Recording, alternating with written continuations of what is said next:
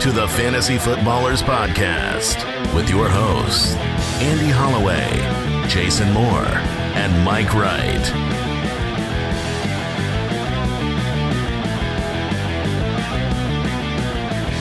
Ah, welcome in.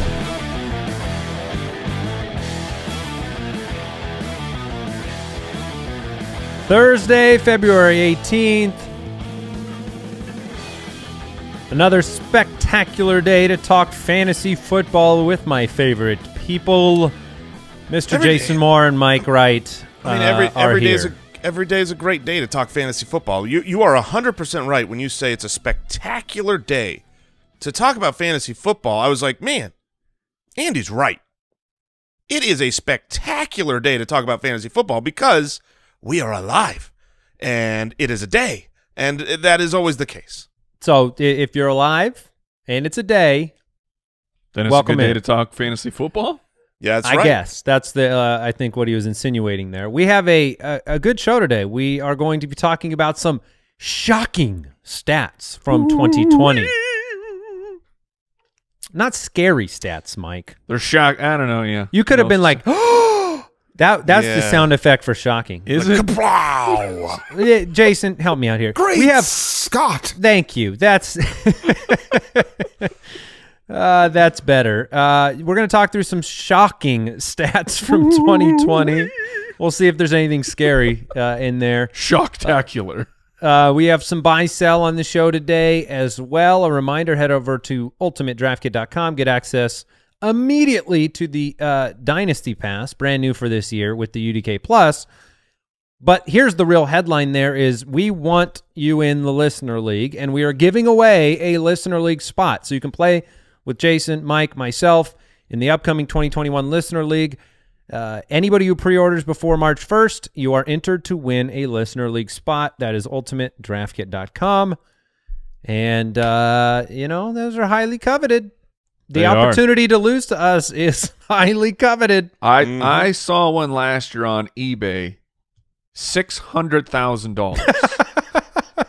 We should put them on eBay. All of them. All Yes, of them should go um, on eBay right re- now. We are retracting this contest. um, but if you want it, go to ebay.com slash the fantasy footballers. Look, I know Brooks can handle giving up 600K, but I mean, what you Yeah, just said is we're giving away $600,000. Can finally get in the league with us.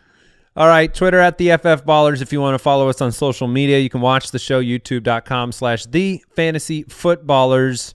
Let's do some buy sell. Buy or sell, presented by Pristine Auction. All right, buy or sell. We're doing an Ayukin edition. Oh, oh yeah. All right, Brandon Aiyuk, buy or sell a top 24 wide receiver in 2021. I'm excited about this one because I I just think that there's some debates to be had with Certainly. Brandon Aiyuk, Deebo Samuel, George Kittle. Who's going to play quarterback? How good are the 49ers? All of those things. So I will I will hand uh, the microphone off to you guys first, and then I'll weigh in.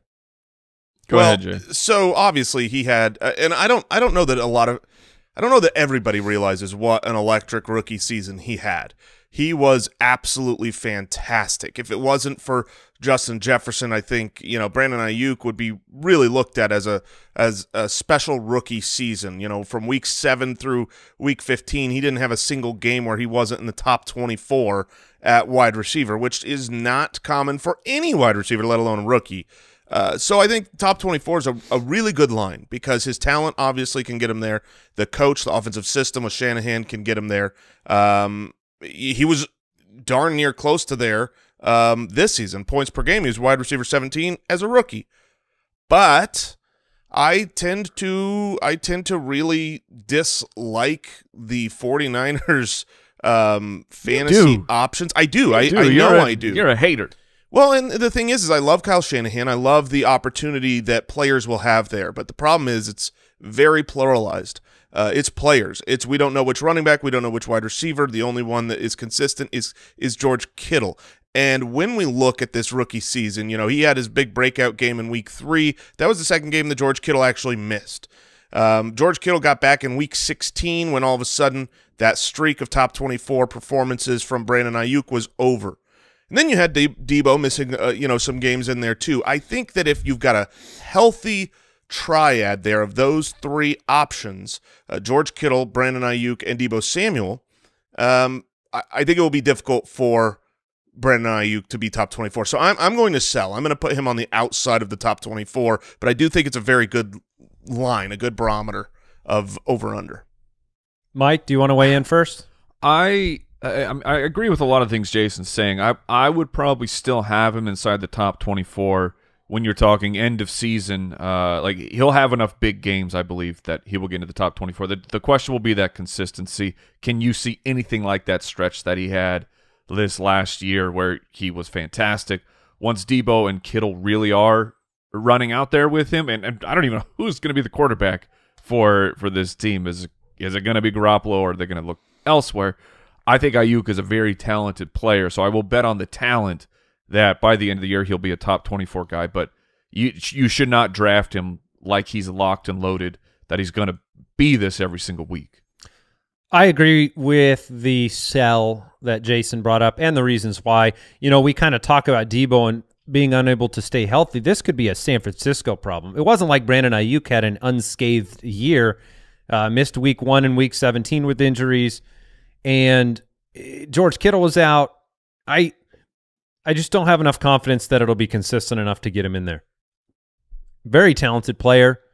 Um, still believe that the team uh, wants to run the offense uh, through Deebo uh, on the outside, but if Deebo can't stay on the field, Aiyuk will Say, be happy to believe- oblige. I can't believe Jason is selling this with his well-known hatred of of Deebo, thinking that Deebo never plays football. How- Then it's just Aiyuk and George Kittle. Well, that you know, it, it I I was surprised that that wasn't the immediate retort when I said if these three guys are together, because even in my own head when I said, well, if these three guys are together, it's going to be difficult. I'm like, are those three guys going to be together? I don't know. But who gets drafted first? That's Does the question. Deebo, does Deebo Samuel or Brandon Aiyuk get drafted Wow. higher next season? I bet they're super close. I bet they are super super close. That's the that's the way it feels right now in the in the space where I think Aiyuk might go a couple picks ahead of Deebo because uh, people are burnt. I mean, That- they, they get burnt by the injuries. that really tends to happen with some of these guys where you know the the the Robert Woods, uh, Cooper Kupp, you know, uh, for years the Adam Thielen, Stefon Diggs. Like when when there's two guys on the same team, um, they tend to where you're not sure who's better for. They just go next to each other, and it's like. Um, I wish that there was a round or two separation here, and then I would use the tried and true method of grab the cheaper Best option. value. Would you? Yeah, You I, I do that? would. You would take Deebo. Like let's say they're it's If uh, Deebo was it's- two rounds later than Aiyuk, I would I would definitely take Deebo. Well, what about one? Uh, Aiyuk. Well, put Aiyuk in the fifth and Deebo in the sixth.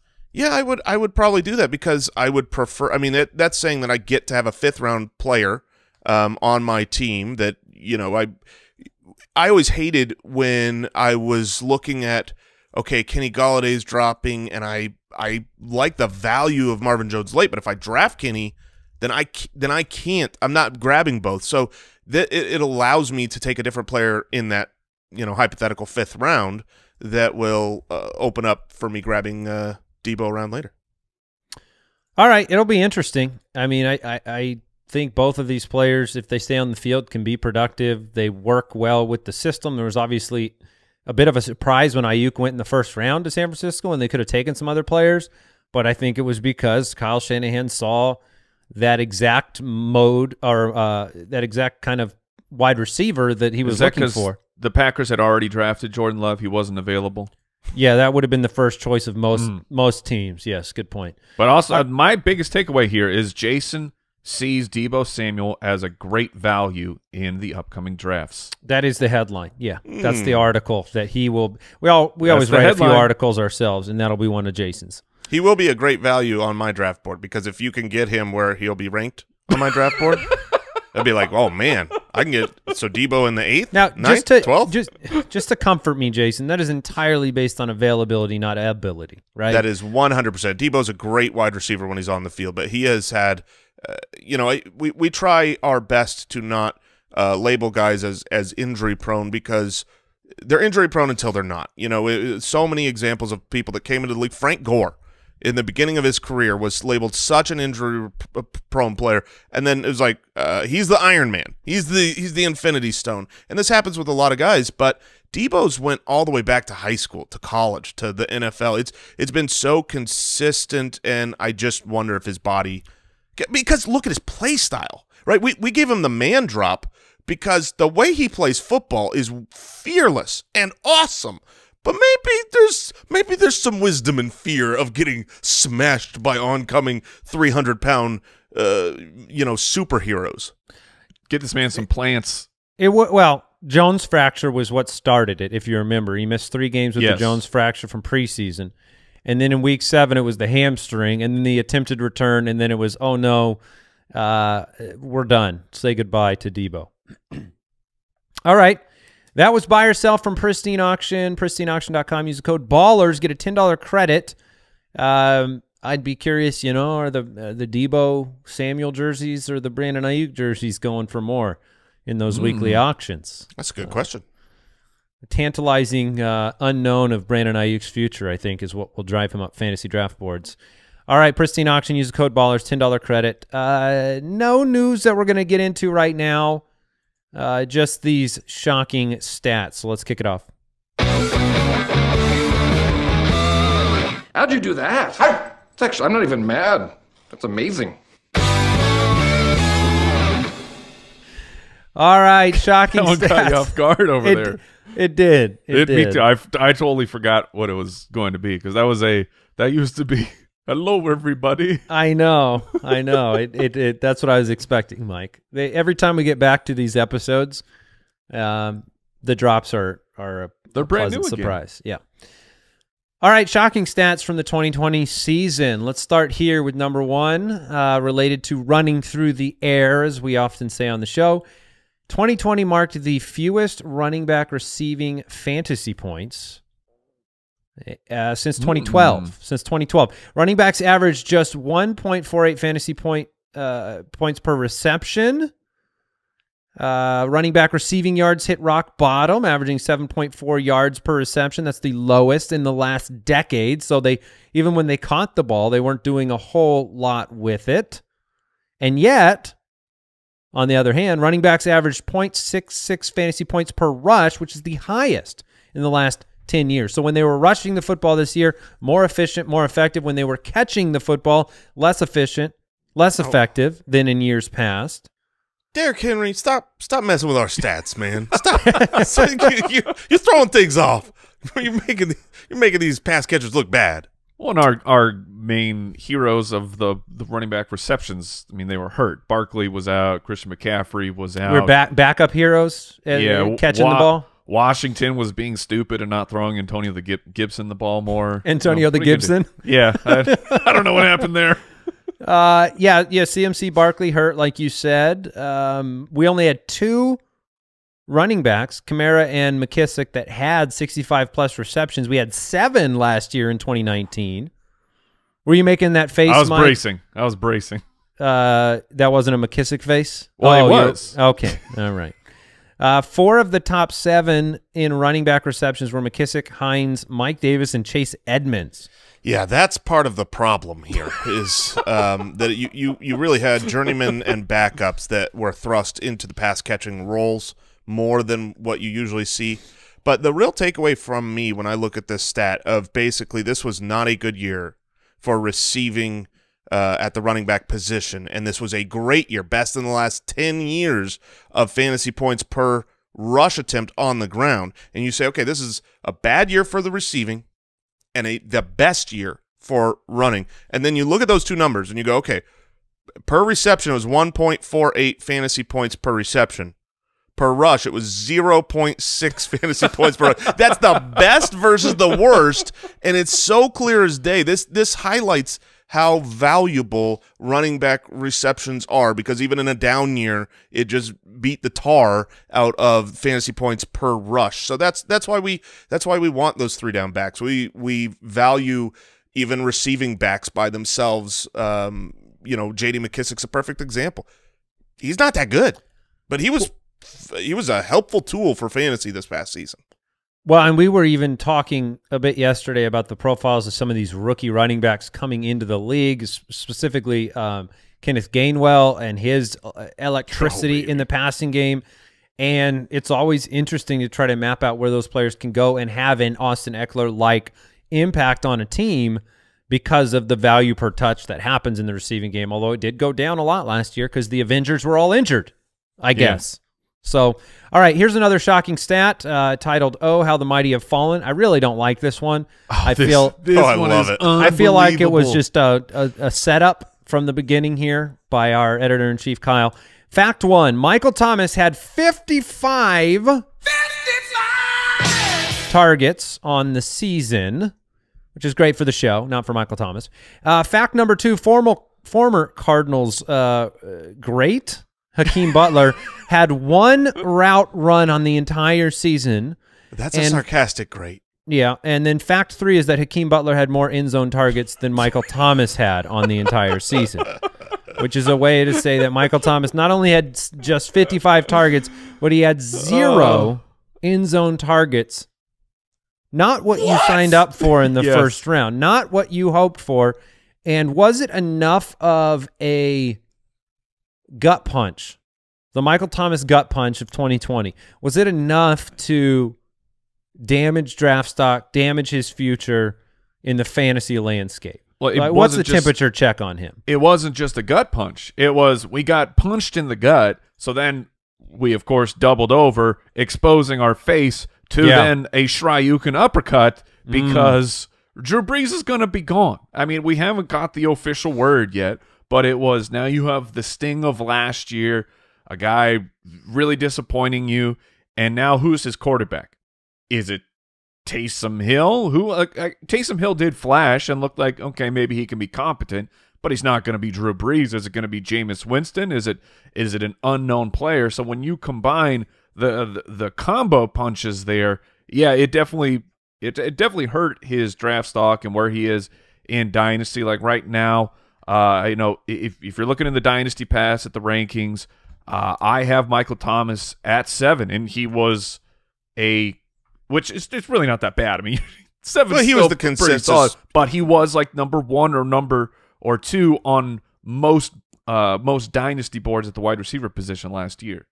Yeah, I mean, I I don't take much away from Michael Thomas uh, this year. It's much more about the quarterback situation. I think he was he's he's awesome. He was playing through serious serious injuries this season because he thought it was going to be Drew Brees' last, and um, you know he's he's getting some of those worked on this offseason.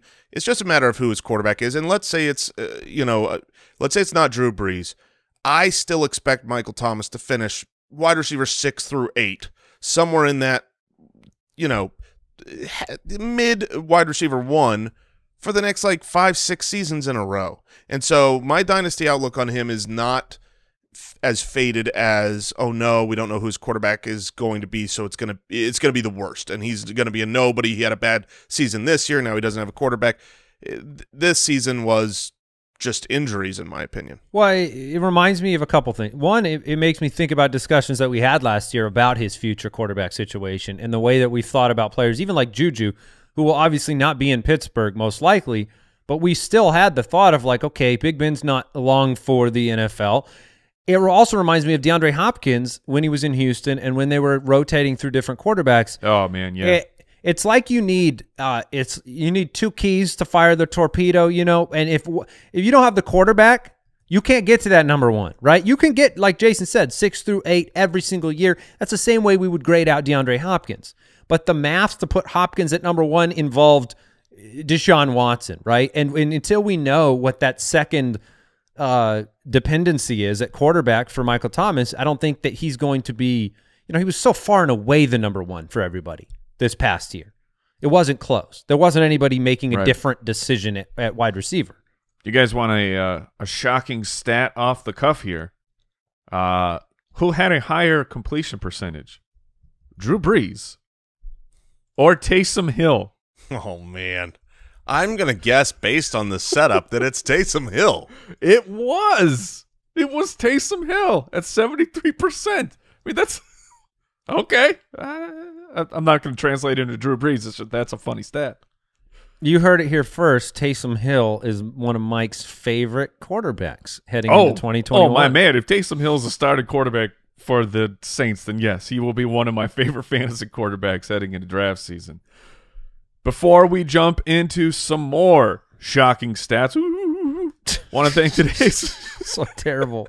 Darnell Anderson would hate that. Uh, I want to thank today's sponsor, Headspace. Ladies and gentlemen, uh, it's uh, it's been a stressful time. It's been a stressful last year. Things right now are a little bit crazy. Check out Headspace. Getting care uh, or taking care of your your, your, your the the mental health. It is important. And Headspace, they're all about meditation. Headspace is one of the only meditation apps advancing the field of mindfulness and meditation through cli- clinically validated research. Whatever the situation, they can help you feel better. Are you overwhelmed? Headspace has a three minute SOS meditation for you. Do you need help falling asleep like so many of us do? They have wind down sessions. Their members swear by it. For parents, like we all got crazy kids, and those crazy kids are at home a lot right now. There are sessions you can do, mindfulness sessions you can do with your kids. Just 30 days of Headspace can lower stress by 32% or 32%. We all have Headspace. We've all signed up. I we have all used it. It is incredibly simple.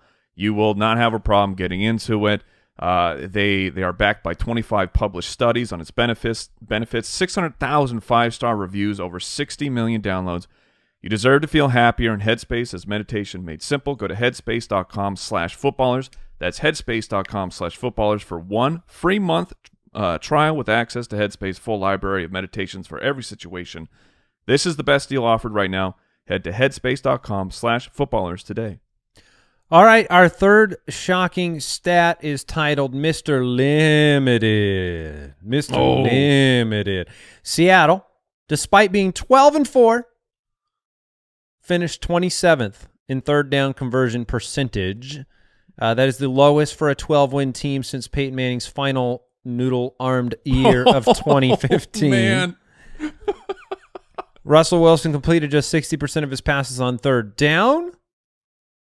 Players who had more fantasy points on third down than Russell This- Wilson. this- these are fun stats here.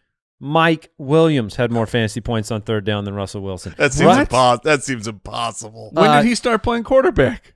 The superior third down Russell, uh, Russell Gage had more fantasy points on third down than Russell Wilson. Russell Wilson. Uh, Gardner Minshew had more third down fantasy points than Russell Wilson.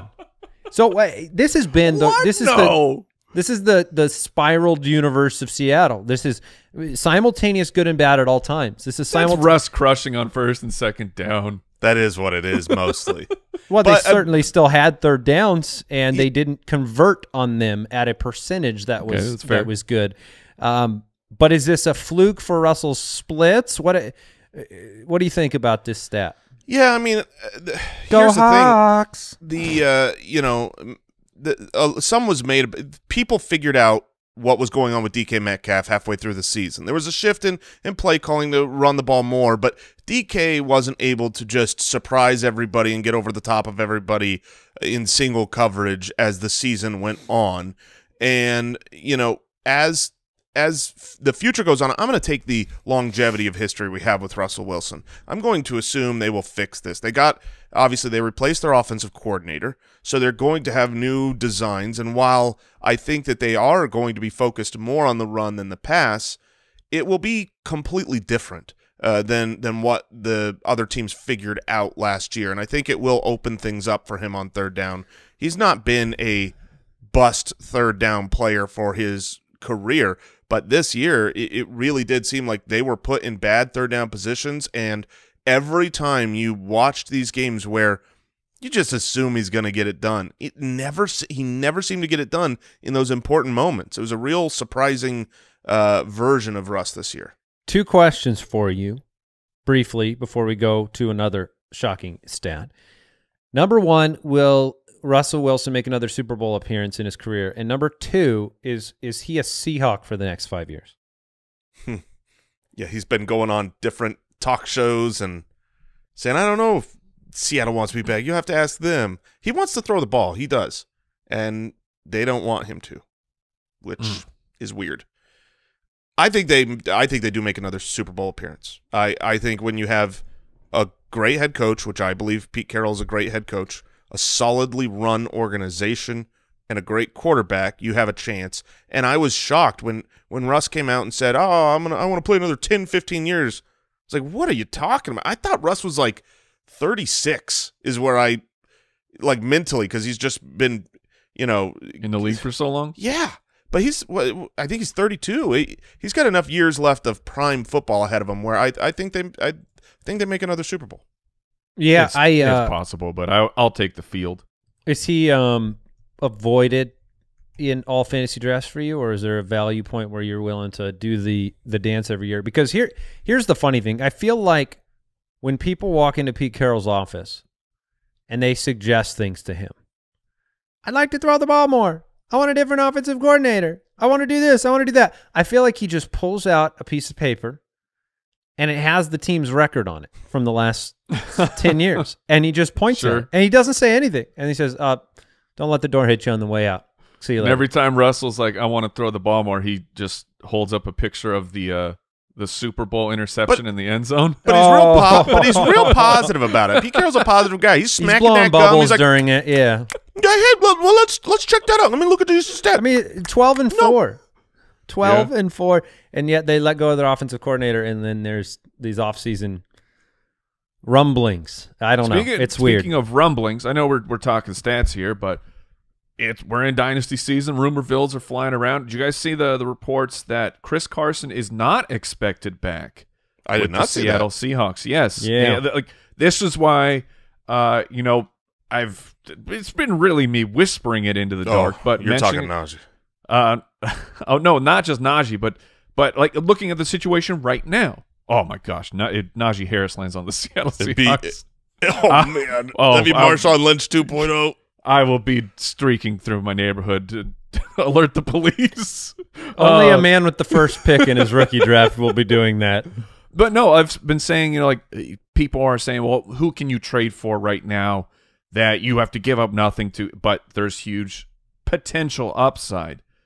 Do you guys have any faith that the Seahawks could move into next year and it's their first round pick, former first round pick, Rashaad Penny, as their main running back? Faith, no. Hope, yes. I was a huge Rashaad Penny believer. I mean, I, I absolutely loved Rashaad Penny. I, I truly believe he was on already he was, on. he the, was breaking out. He right was on before the, way injury. to break out, and then he got injured in in uh you know a very unfortunate injury for a running back. And but i- They- if if he's the main guy going into next year, I I will get be. I will get trapped. He will can't just be. He can't be. No, there's no, there's a zero percent chance the team is going to make him the number one guy going into next year. If they let Chris Carson go, they'll sign a free agent, veteran, or they will draft somebody in the fifth, sixth round to complement at a minimum. I mean, they've piecemealed together their running back core due to injury for years. So going into the season, going into the season with like Carson and Penny is already like somehow a gamble due to injury. Right. I just can't see a world where Rashaad Penny is coming off the catastrophic injury that he had. Well, but he's not. I mean, he has. He's now had a whole year. Sure. Yeah. I mean, uh, look, we'll see what happens. There's a world where he's being drafted as their starter. Yeah. And that's going to be a, it- you know, close your eyes, make the draft pick. You know, Right. just because it's worth a lot if their if their philosophy is running the ball. So maybe it just took a little time, and Jason's Rashaad Penny dreams can come true. oh, oh, I couldn't handle it. All right, Red Zone Warriors is our fourth shocking stat here. In 2020, three players had double-digit touchdowns inside the red zone. So remember the specifics there. Inside the red zone, Davante Adams had 14 inside the red zone. Adam Thielen 13. Travis Kelce 10. Uh, that is the most uh, total players doing that since 2015. Oh, fact, what a we had- that was. We had none of them last year. Yeah, 2015, you had Allen Robinson, Brandon Marshall, Eric Decker, Tyler Eifert, Jordan Reed, Oh baby. the target monster himself, Mm-hmm. Rule 86 in effect. Um, but last year there were none. And so the year before, Eric Ebron and Davante Adams did it. Um, Jarvis Landry and Jimmy Graham the year before that. Uh, It's been, you know, it's been a while since we've seen a lot of players do it. Pick two players other than Adams, Thielen, and Kelce, so you can't no repeats. But two players that could do it in 2021. We'll do a mini draft of two players that we think could do it, and um, then I'll start because I want the first pick. all right. Uh, the the the Thielen one it still shocks me because I every time I forget how many touchdowns Thielen had last year. Yeah. I, I will go with uh, my first one is going to be Mark Andrews. I will go with Mark Yeah. Andrews, tight end for the Baltimore Ravens. Okay.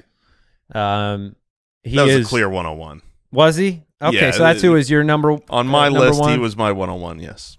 All right. So, uh, who's going next? Uh, the list has me on there, so I Okay. will go, and I am going to select Calvin Ridley of the Atlanta Falcons. I think that he could absolutely do that. That's good. Yeah, I yeah. like that pick. I get that. Um, I'm going to go with, uh, I, I do think this, you know, when you're talking inside Uh, the nope, 20. your pick is already in the doc. Brooks has selected Tyler Oh, no. Lockett for you, Jason. Um, Ooh. no, no, thank you. We're Deebo talking Samuel. inside. We're talking inside the twenty yard line in the Yeah. red zone. Um, so I, I do think that tight ends uh, are probably the the most likely outcome here. I mean, we saw Eric Ebron do it, so I'll, I'll take George Kittle. I'll take a healthy season and have him come down with double digit touchdowns next year. And at wide receiver, look, there there was magic happening towards the end of the year, and, and nobody has more one yard touchdowns. Oh, than yeah. Mike he was going to be my next pick. So yeah. I will go Mike Evans for the inside the red zone double digit touchdowns when either Godwin or Antonio Brown or both possibly move on from the team. All right, Mike, have, it's back to you. Uh, I have some some like Evans was on my list, and Cooper Kupp is on my list because that I think I, still think Cooper Kupp is good. But I'm I want to throw out a name here uh, that you know is projecting, and I think that this could happen. I think that this player could come down with ten touchdowns inside the red zone. I'm going to take T.J. Hockenson from the Detroit Lions as uh, the primary go-to weapon. Jared Goff likes himself a tight end from from time to time, and I think that Hockenson could get it done. All right, I will. Uh, I will try not to go back to the tight end well here. So I will take a wide receiver, and I will go with a free agent wide receiver. I will go with a wide receiver where I don't know where they're going to play, but I know how big they are, and his name is Kenny Golladay. Kenny Golladay. All right. Uh, I believe it was 2018 that he was one of the few double-digit touchdown fellas. Wherever So, uh, Kenny Golladay goes, I need Kenny Gainwell to be drafted. So we just have. Oh, you got double Kenny G. So we got Kenny and Kenny. smooth route, smooth smooth runs. Oh man, Yeah. Okay. I was really hoping that maybe we had some smooth routes on the show today, but apparently we don't. Oh, Kenny G in the house. Uh, we, we didn't get to play that last year, and that was so disappointing. soundboard is asleep at the wheel over there. All right. So Mark Andrews, Calvin Ridley, George Kittle, Mike Evans, solid pick there. TJ Hockenson, Kenny G. All right. All right. Um, We'll be sure to check back in on this draft. yeah, right. All right. Uh, let's go with our fifth shocking stat titled Under Pressure. Oh, Under pressure. Ding, ding, ding, ding, Uh, ding, ding, ding. Yeah, when I hear under when I see under pressure, somehow I still think of, Day up. I still think of the Billy Joel song. What? I know it's not right. I'm not What? saying it's right. I just do. What? Sorry, I'm sorry. That's that's absurd. That's not. I, I listened to way too much Billy Joel as a kid. That- all right, Justin Herbert was the only quarterback whose passer rating under pressure was higher than his total passer rating. He had a, a 99 passer rating under pressure, 98 Impressive. not under pressure. Now is that because he was under pressure on like eighty five percent of his dropbacks? Uh, yeah, due to the Pro Football Focus is 32nd ranked offensive line in front of him. Yes, dude. Thirty second best. Yeah, 32nd best. The the nice thing is is it, from what I understand, the the Chargers are going to save a lot of money by disintegrating all offensive line because they realize that he's better. He's better under pressure. Why have an O line? Let it go. Uh, most completions under pressure in the NFL. He led the NFL with 15 passing touchdowns on third down. He still was uh, credited. His receivers were credited with ten drops uh, on under pressure throws. Still had Wow. a ninety nine point four passer rating. He, he- So he's good. Now, do you guys take this as just this is kind of a fluky thing, one time thing, or is this like you get Justin Herbert some protection up front, and you're you might see a forty touchdown season from him? I think he's certainly capable of that type of a season. I also know that fantasy points come in lots of different ways, and one of them is running away from people and running down the field and um, improvisation. And you know, Russell Wilson has made a lot of uh, fantasy players happy and evading defenders, and and so I don't know what that equates to exactly for the fantasy future of Justin Herbert. I think it's very easy to take the quick reaction of uh, no Austin Ekeler running the ball around, or he had to run a lot. Touchdown percentage was up there. He's got to regress, but is that a bad is that a bad way to go? I mean, we wanted Baker to get an O line, and it changed their whole team. Uh, I what we saw, I mean, what we saw from Justin Herbert says to me that he will, without a shred of doubt in my mind, have a forty touchdown season.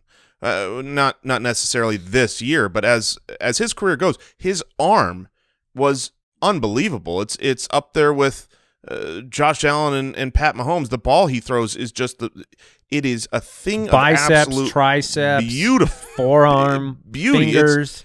Lats. so but but I will say, you know, if we're talking about what what's his prognosis for next season, I think that they are going to have a better team. Um, I think they're going to have a better offensive line, but they're going to have a much much better defense. They had so many great, you know, Derwin James is all world, and they'll have him back next season, uh, presumably. And you know, I don't think he's going to need to do as much. So I'm I'm really having a hard time looking at Justin Herbert's 2021 because I think what we saw was fully real, uh, past every analytic test, past every film test. I think he's completely the real deal. He will only get better. Um, but statistically, fantasy football wise, uh, he ran the ball much less in the second half of the season, um, which is you know that you would expect that as he progresses as a quarterback, but that's not good for fantasy. So I, I do have a hard time um, figuring out where I think he's So- going to land next year. Let, let me make this difficult. I will go out on a limb here, and I will say I will definitively, I would definitively rather have Justin Herbert as my fantasy quarterback than Jalen Hurts. Oh, Ooh. very interesting. And- Reaction? I well, if Jalen Hurts is the known starter, uh, if, Carson Wentz is traded, I would definitively rather have uh, Jalen Hurts, and As I- would I. and it's it's stupid, and I don't like it because clearly Justin Herbert is the better quarterback, but for fantasy, rushing is king at quarterback, and and the baseline, the consistency will end up being higher. The the bigger blow up games will be higher. Uh, I'll I'll take I'll take the one that hurts. Oh, then we get that one. All right. Uh, shocking stat number six. About to get that bag. You ready for this? Oh yeah. From weeks one through five, Curtis Samuel had 34 fantasy points. Hmm. That is, uh, that's not good. That's wide receiver 61. From week That's- seven that's on, high for 34 points. yeah, from week seven on, including his bye, he was the wide receiver 10 with as many wide receiver one weeks as Stefon Diggs and twice as many as Justin Jefferson. He was Good he was golly. Oh, and outstanding. Andy's getting his mind that hurt. blown You right hurt. now. You you could tell that hurt me to say that out loud. Um, man, This is this is a Kyle Borg special. Curtis Samuel is one of the Borgogens guys. Yeah, I really don't like how much control he has over our show right now. Uh, manufactured touches, second most third down touches among all wide receivers. There was no Christian McCaffrey, but Curtis Samuel came on in a big way. He saw the money bags, uh, the the new contract. Where's he going to go in free agency? Will he matter for fantasy? Uh, my projection, my prediction for Curtis Samuel is to land in uh, Washington. But Ooh. what do you guys think about Curtis Samuel's future? Because is he going to get paid enough to where he's he's he's part of an offense, um, enough of an offense to be relevant? I would I would say that um, no, I don't think he's going to get paid well enough to guarantee that he's a major part of an offense. Uh, my outlook for him is I'm really really excited to see where he signs for Robbie Anderson and DJ Moore. Uh, you know, if this year taught us anything, it is that we want the two targets. We don't want three targets. Right. We want two targets. Uh, target number one, target number two. At all across all positions, are there two guys we're throwing the ball to, or are there three? And uh, when he leaves, and he leaves just Robbie Anderson and DJ Moore to split that pie up, it'll be delicious. Now, obviously, the the location that you brought up, um, Washington would be one of the only spots where you could argue there's only two guys there if if it's him and Scary Terry. Although Logan Thomas really was a major I don't. target. I don't like what's going on over here, Jason. You are discounting the number two target on that team, mm. Jason. Jason, I will not have. I will not. I will not stand for this. He, look, Gibson's great, but he's not going to be in the top two targets. Ain't it would happening. be it would be bad. f- I mean, it it'd be bad for Gibson if Curtis Samuel landed in Washington because I think they'd, they'd use him the way. I mean, Curtis Samuel has utility beyond you know lining up in the slot. You can you hand him the ball into rounds, short area targets. It would be bad. If it's Sounds McKissic, like a guy that Gibson, Kyle Shanahan Samuel. would want just to muddy up the waters even more. Oh my gosh, Curtis Samuel to the 49ers. Absolutely. But, oh. Oh. we can use him behind the line of scrimmage. He can carry the ball. I mean, it's a You're perfect right, though. Shanahan You're right. guy. And would be every fantasy for them. owner uh, would be like, I hate the Niners. I hate. I Oh, hate. Percy Harvin coming out of retirement at that point. Let's get Percy Harvin in there. Tavon Austin's probably a free agent. Didn't they sign him at one point? I mean, let's just keep him coming. I think the. Uh, I do think that Curtis Samuel is going to matter. I. I because I'm. I'm going to bet on his talent. I mean, he's not going to get Allen Robinson money, but I think he'll get a good contract. You know, he could be. Uh. Um. Oh crap! His name is escaping me. He went to the Raiders. He it didn't pan out because he got hurt. The Tyrell Williams. Yeah. Um, like he could get a contract like that and and go and be a piece. Like I'll throw out the the New England Patriots as as a potential destination. He seems like a player that Bill Belichick would be able to maximize and and and use him to to create mismatches. And I and I'd be interested if he went to the Patriots. Is he Yeah. playing quarterback there? Maybe. Because I think that's that's the only way he'll have fantasy production as a Patriot. All right, uh, let's go with one more shocking stat. and We'll do a couple mailbag questions too. Juju Mapletron and Sir Drops a lot. That's that's what he chose to to title this. I find that insulting for Devontae or uh, Diontae. Uh, the Pittsburgh Steelers wide receiver scored the second most combined fantasy points in the NFL. They had three wide receivers in the top twenty-four. Juju was eighteen, Claypool nineteen, Diontae twenty-two. Get one out of there. Get Mhm. one out. It's my rule. Two They- targets. They managed to total only. Here's the shocking stat: they totaled only four 100 yard receiving games, which is uh, combined fewer than uh, Cole freaking Beasley. so uh, with Juju out of the way, do you expect Diontae and Mapletron to both easily be top 24 wide, wide receivers next year? I do. I do I- too. I, I would absolutely. De- Diontae Johnson is just going to get so many targets. Chase Claypool was on my list for uh, the the when we were doing that incredible red zone warrior draft uh, of someone who could just he could pull down ten touchdowns inside the red zone. Like he was a rookie and he scored more than ten touchdowns. That doesn't happen. I thought you were going Chase Claypool when you were uh, pre talking about T.J. Hockenson. I I was sure that Chase Claypool was the name coming out. Yeah, I mean if if these two targets are the main receivers, assuming Big Ben is still there, uh, certainly they will be top twenty four. I, I don't see how they won't. Like like the stat talked about the the Steelers wide receivers as a whole scored the second most combined fantasy points. The pie is large. Split it two ways and eat up. Uh, one way too. If you split it one way, that it's Oh, even good. better. Yeah. I mean, Uh, we can go full obesity over You're, here. you're going to get sick. You want an obese wide receiver? Sick core. with Is that what you're fantasy points. Oh gosh. Yeah. All right, let's jump into the mailbag for a few questions. Oh,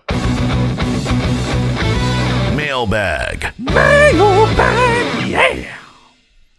All right, if you have a question for the show, we're here to help. TheFantasyFootballers.com. Visit the site, click the submit a question button, or you can also dial the voicemail hotline 302-464-TFFB. All right. First question, Dynasty rookie draft question from Aaron in San Diego. Hey, ballers, I'm in an eight-man Dynasty, two quarterback league. Mm-hmm. okay. Is it crazy to take Trevor Lawrence with the one-on-one? Yeah. Yes. Yes. Wait. Rookie only?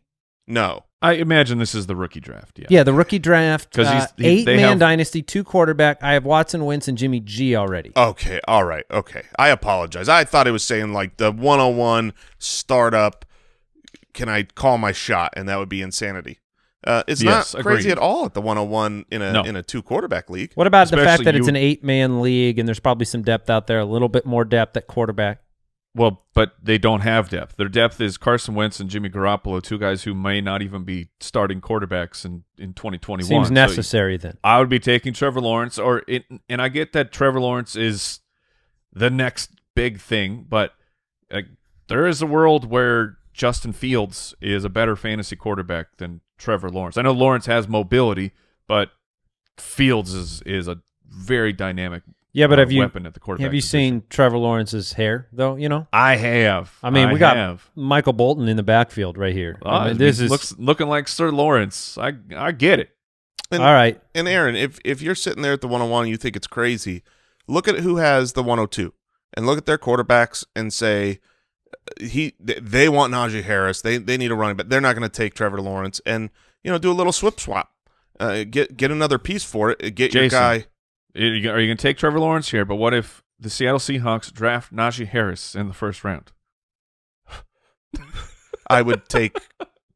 Oh man, that that becomes really. Then I would trade to the 102, get extra pieces, and let the chips fall where they may.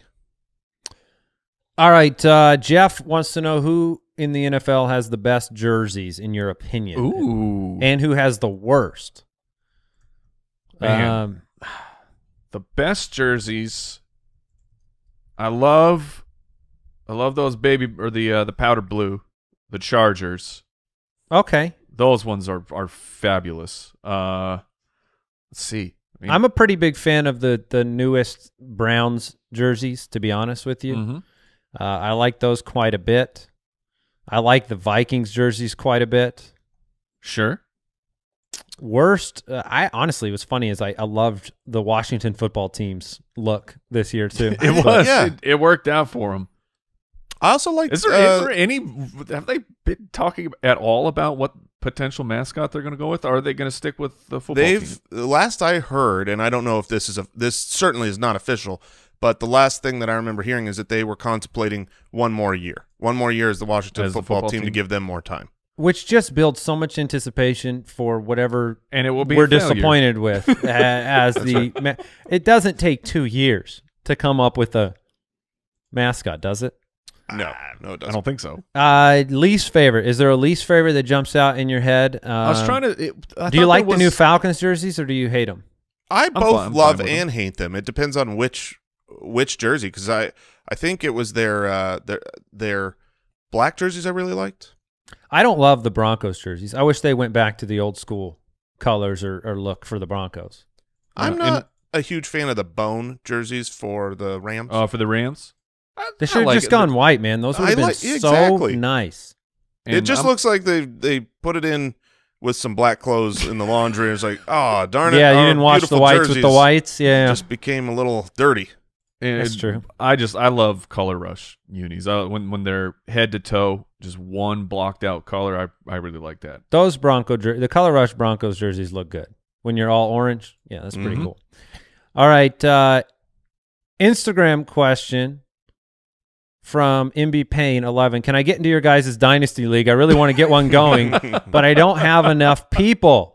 FootClanLeagues.com, my man. Yep. You just go to FootClanLeagues.com. That's where the supporters of the show at Join the Foot, they can make leagues, meet people, play online, even local. Uh, and, you know, if you need a, a player to fill that you know is going to be good, so many thousands of leagues have spawned up from FootClanLeagues.com. So that's where that's where you go. We have we have waiting lists upon waiting lists with with you know the co-owners on almost every team. So we're locked up. Oh, you you were just you were giving him a formal decline on his in, asking to come into our league. Yeah, the, in the kindest way I could. Um, Instagram question from uh, Jono Etel. Uh, with the NFC East so terrible this past year, which team rises out of the ashes next year to outshine expectations? Um, Man, I, if- with if- Dallas makes sense. Dallas does make sense, but if if Washington Washington is a quarterback away to me and just competent quarter, I'm, I I love the story of Alex Like Smith. a Case Keenum away.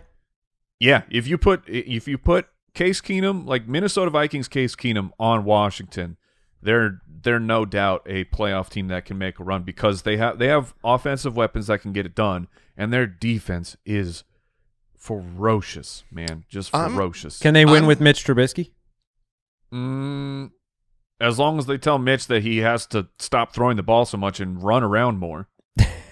Okay. Like Trubis- Trubisky can win if he uses his legs more. Trubisky's He- he- won a lot with the Bears. Uh, Yeah. He made the playoffs. He- I mean, when you've got a great defense and you don't have to do much, but they- they Heinicke or Trubisky?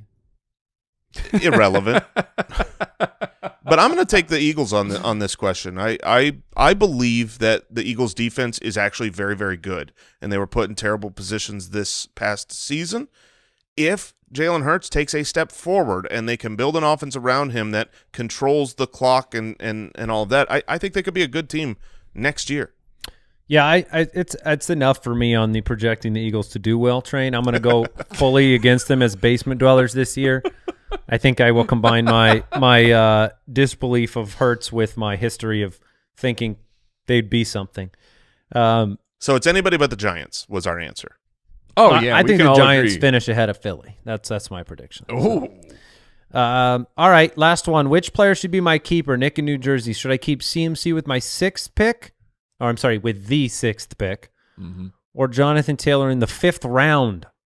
oh baby, The answer is Jonathan Taylor. is Jonathan Taylor. I mean, you get to take that sixth pick It's and draft the player Taylor. and combine it with Jonathan Taylor You're not getting you're not getting one of the top running backs at six. at you're, six. Yeah, you're probably getting because uh, you got one in the fifth round, man.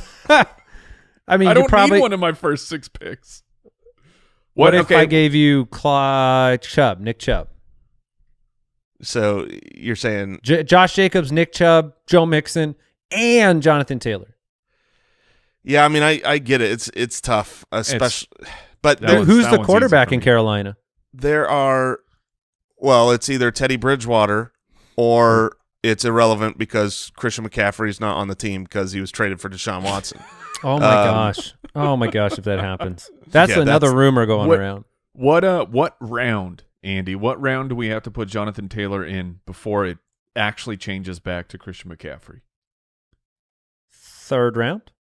Because I think I would still, if it was a third round keeper, I think I would still go with Jonathan Taylor. Third round, I would definitely go CMC. Fifth round, I'm st- I, I'm still a little torn because I Who I had more th- points last year, Jason? Oh come on! Oh my more- uh, oh, okay, let's go with that. Let's go with that, Mike. Who Per scores, game? Who scored more points per game last? I didn't season? say that. I said who scored because more it's points. not close, and and we can't forget if Christian McCaffrey comes back, there you can't replace this with with you know oh I I have a bunch of good players. There's only basically him that can go out there and score so many more points in one slot on your fantasy roster. Yeah, It, it's really it's it's not fair. I mean, So he played three games last year in our league format. He scored 29, 25, and 34. Um, yeah, Jason's talking me out of this. It, it's it's a great place to be. I mean, you're you're in a, a spot where you know you're you've got two great options. I I think you probably end up going Jonathan. I'm Taylor, switching back. I'm switching back. I God, I you guys feel like crazy. Philip Rivers is gone. We don't know the quarterback in Indianapolis, and it will matter, and especially in that pass catching realm. I mean, Jonathan Taylor could end up in a universe catching 20 passes total next year or less. Jonathan Taylor And that rush will for not be- 2,000 yards. Ah, yeah, every No, Jonathan. John, I I firmly believe that Jonathan Taylor could do that.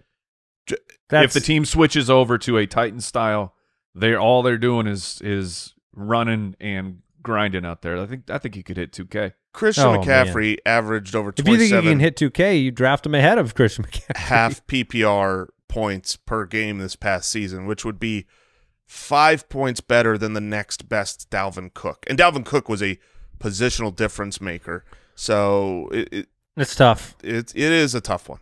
Um, best of luck to you. But yeah. All right. Uh, that'll do it for today's episode of the show. Uh, we have a 10 things to remember from 2020 episode coming up next week. So make sure you subscribe, tune in. We always appreciate the reviews as well as you hang out with us this off season and get ready for the 2021 fantasy football season. All right, youtube.com slash the fantasy footballers. If you want to watch us over there, we'll catch you later. Goodbye.